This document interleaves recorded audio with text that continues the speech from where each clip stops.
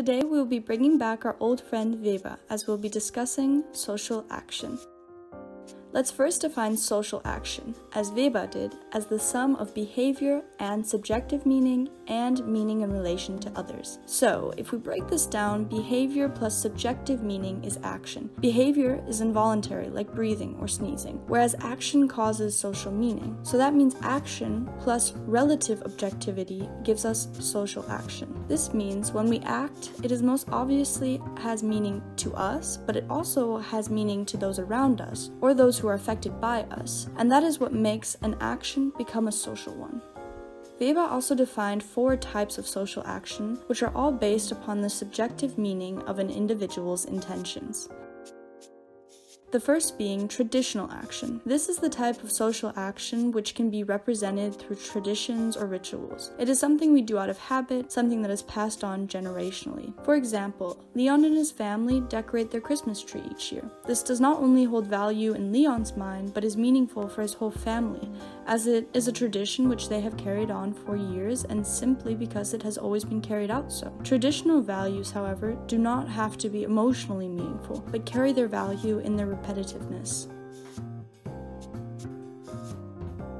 The second type is affective action, which occurs as a spontaneous product of our emotions. Leon is affectively acting when he cries after seeing his siblings during the holidays for the first time in a long time. He is brought to tears. He emotes sadness and joy at the sight of his quickly aging little siblings.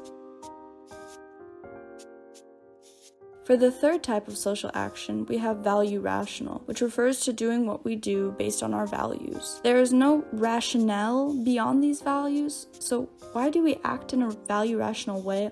Well, because we should, right? But then why should we act this way? Well, because we should act in accordance with our values. In Leon's case, this type of action is taken when he buys his cousin, who cannot afford to come home, a plane ticket to surprise his family for the holidays, as Leon believes all families should be reunited for the holidays regardless of the money they have in their pockets. By purchasing this ticket, he is also expressing this value and acts in accordance with it.